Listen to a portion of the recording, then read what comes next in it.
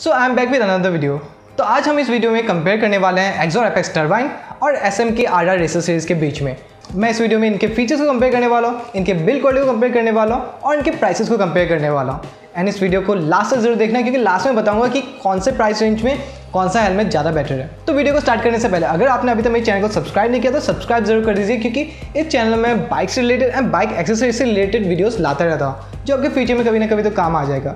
So please don't forget to subscribe to my channel plus bell icon को भी दबा दीजिए, ताकि सबसे पहले आपको मेरे हर वीडियोस का नोटिफिकेशन मिले।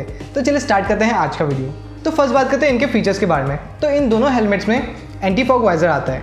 एक में आता है एंटी फॉग वाइजर एंड एक में आता है anti fog visor pin lock technology के साथ, जो ओरिजिनल पिन लॉक है। तो दोनों में डिफरेंस इतना ही है कि एक में पिन लॉक आता है और एक में एंटी फॉग नॉर्मल आता है, जो स्टिकर टाइप का होता है, उसको चिपकाया जाता है। जस्ट ये डिफरेंस है। बट दोनों सेम काम करते हैं। एंड मुझे दोनों में कोई भी फ़र्क नज़र नहीं आया। दोनों एग्जैक्टली सेम काम करते हैं। दोनों के अंदर डस्ट जाता है। दोनों फॉक रेसिस्टेंट है। एंड उस पर्टिकुलर प्लेस में वो लोग फॉक जमने नहीं देते हैं। तो एंटी फॉक वाइजर का फीचर इन दोनों हेलमेट में है। तो नेक्स्ट बात करते हैं इनके बकल्स के। तो जो एसएम के है, उसमें आता है क्विक रिलीज़ बकल एंड जो एक्सॉर्ड है, इसमें आता है डीलिंग बकल तो जो डीरिंग होता है, वो ज़्यादा सेफ़ होता है बिकॉज़ वो इजीली निकलता नहीं है। एंड वो सेफ्टी ज़्यादा प्रोवाइड करता है, इसलिए क्योंकि अगर कोई एक्सीडेंट भी हो, तभी वो क्विकली निकल के नहीं आता। वो एक्स्ट्रा सेफ्टी देता है। जब भी आपका एक्सीडेंट या इस टाइप का कुछ भी सिचुएशन हो तो वो इजीली आपके हेड से निकलता नहीं है एंड आपके हेड की सेफ्टी पूरी अच्छे से देता है। बट जो स्लाइडर है, वो एक टाइम के बाद थोड़ा स्लिपरी हो जाता है एंड वो क्विकली रिलीज़ हो जाता है। बस slider day to day life के यूज़र्स के लिए बहुत बेटर है, क्योंकि इसमें आपको quick release and quick attach वाला फीचर मिलता है, जिससे आपके लिए बहुत कन्वीनियंट होता है हेलमेट को यूज़ करना। तो थर्ड बात करते हैं एयर वेंट के बारे में।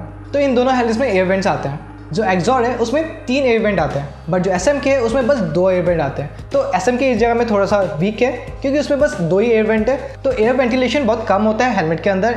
बट एक्जॉर में जो एयर वेंटिलेशन होता है, वो ज़्यादा होता है बिकॉज़ वहाँ पर तीन वेंटिलेशन है। एंड साथ में इन दोनों में डुअल वाजर आता है। तो समर टाइम में या फिर दिन में बाइक चलाना बहुत ईजी हो जाता है एंड कन्वीनियंट हो जाता है बिकॉज़ अंदर एक ब्लैक वाइजर भी होता है एंड बाहर एक वाइट वाइजर होता है।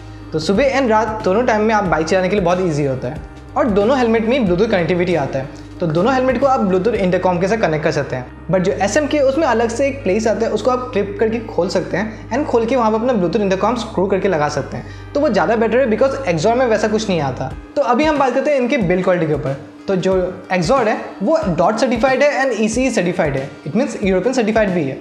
बट जो एस एम के है, वो बस ओनली यूरोपियन सर्टिफाइड है ई सी सर्टिफाइड है।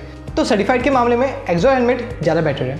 एंड बिल्ड क्वालिटी भी एक्जॉर हेलमेट का थोड़ा ज़्यादा अच्छा है, क्योंकि जो एस एम के है, उसका बिल क्वालिटी थोड़ा सा थिन है। उसमें तो थोड़ा थिन मटेरियल यूज़ किया गया है। तो अभी तक हमने कंपेयर कर लिया इनका फीचर और इनके बिल्ड क्वालिटी तो अभी हम बात करते हैं इनके प्राइस के बारे में। जो एक्जॉर है, वो आपको ऑनलाइन मिलता है five thousand rupees and offline आपको फोर थाउज़ेंड से फाइव थाउज़ेंड के बीच मिल सकता है।